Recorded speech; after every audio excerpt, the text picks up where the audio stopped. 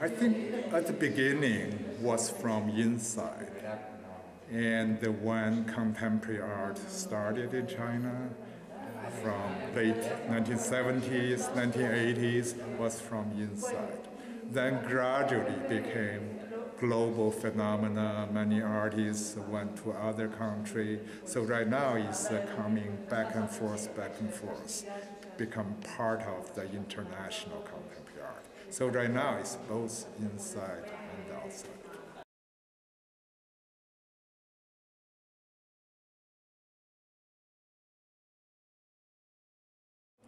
I feel over the past 30 years, and this art has become increasingly mature, and the artists become older and more experienced, and Chinese art, contemporary art, has also joined international exhibitions, important exhibitions, and uh, markets. So on all different levels, this art we can say now is very mature compared with 30 years ago. That was just a beginning.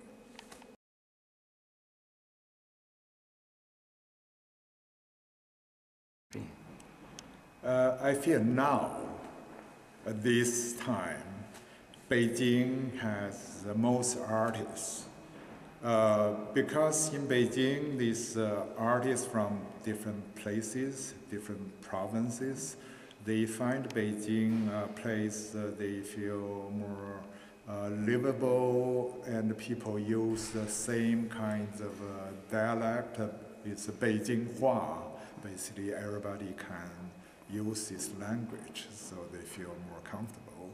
But in other city, Shanghai is important center, Guangzhou is important center, Sichuan, but uh, this city has a strong local dialects, so they have uh, fewer artists from other places. So China now, there's uh, many centers, many centers for contemporary Chinese artists, but Beijing is definitely has the most people. But still, we say contemporary Chinese art artists, we should also include people who live outside China.